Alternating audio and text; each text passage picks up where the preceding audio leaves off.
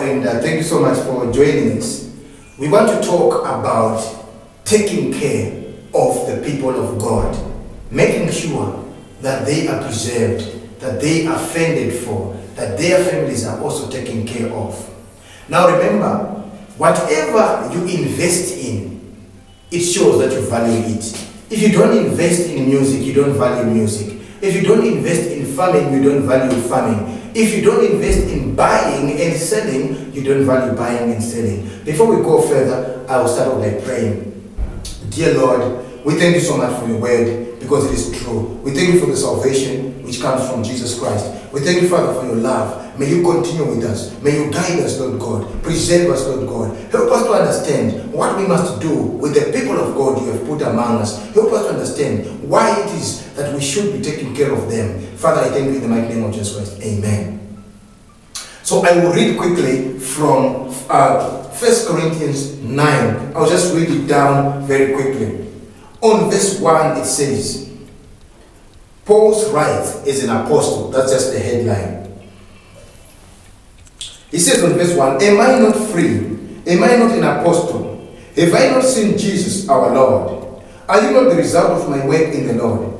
Even though I may not be an apostle to others, surely I am to you. For you are the seal of my apostleship in the Lord. This is my defense to those who sit in judgment on me. Don't we have the right to food and drink? Don't we have the right to take a believing wife along with us, as do the other apostles and the Lord's brothers and Cephas? Or is it only I and Barnabas who must work for a living? Who serves as a soldier at his own expense? Who plants a vineyard and does not eat of its grapes? Who tends flock and does not drink of its milk? Do I say this merely from a point, a human point of view? Doesn't the law say the same thing? For it is written in the law of Moses, Do not muzzle an ox while it is treading out the grain. Is it about the oxen that God is concerned? Now, the scripture goes on and on and on, but I want you to understand that when a person of God is working in your life, when you are getting sick and the person of God is rushing to praying for you, when you are having spiritual attacks at night and the child of God comes forward and prays for you, the man of God prays for you, whatever you are going through, if God is stretching his hand, reaching out and working in your life through the man of God, you are obliged to think about the man of God's welfare. It is not Jesus he is praying for who is sick. It is not Jesus' marriage he is coming to make sure he prays for and cast away demons from this person's uh, raw areas. No, he is dealing with issues in your life.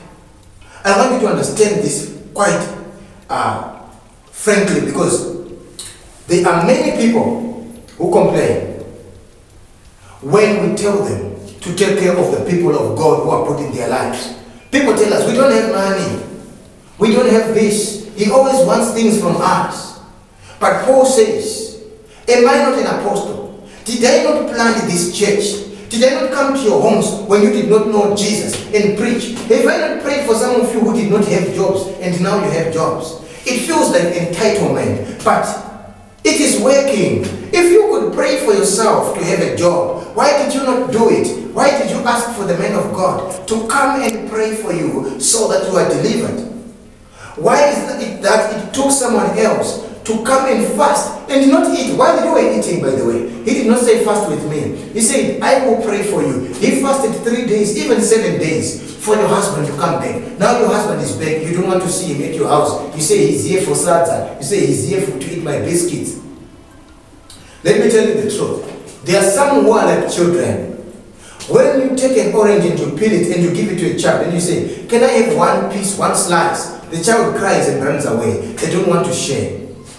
Sometimes sharing is hard, but it has to be done because we trust God. Sometimes sharing is hard, but it has to be done because we love the Lord.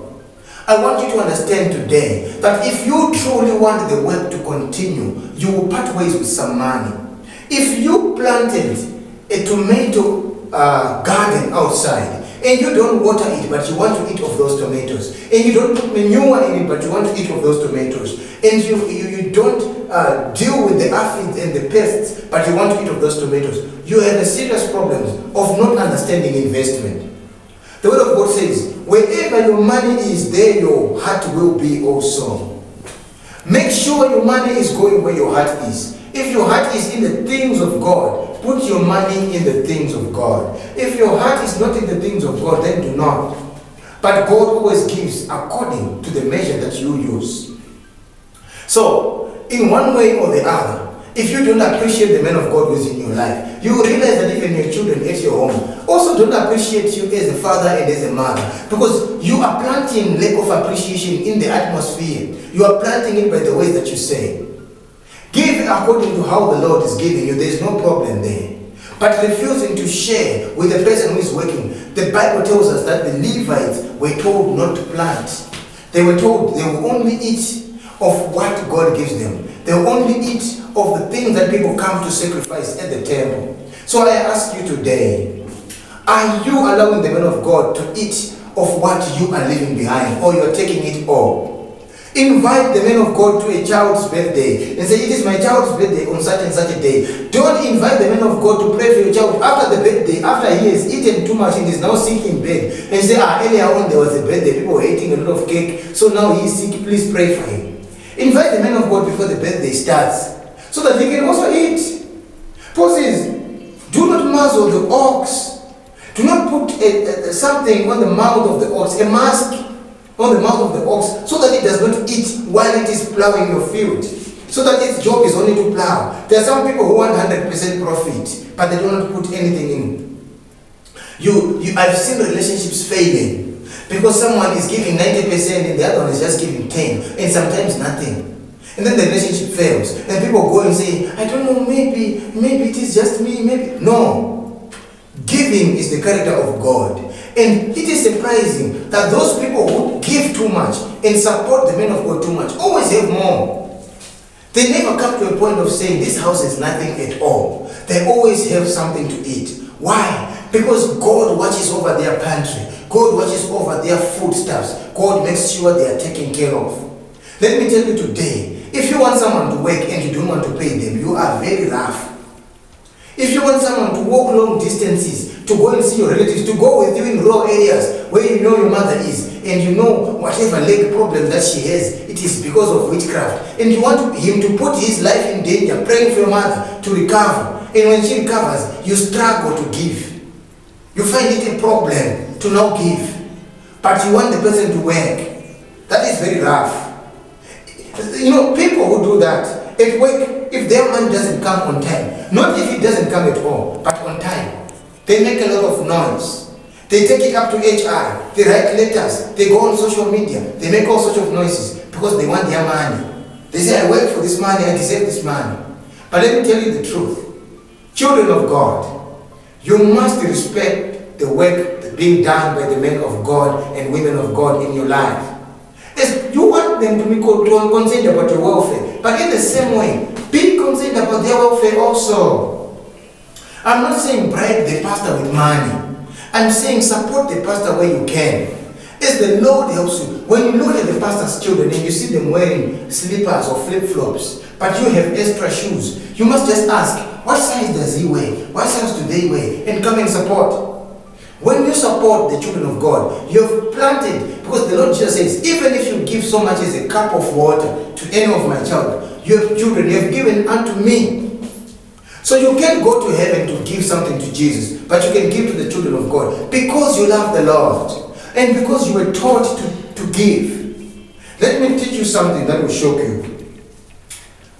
Whenever you give genuinely and with a true heart, and you know you are giving this because you love God, whenever you do that, you have opened doors somewhere.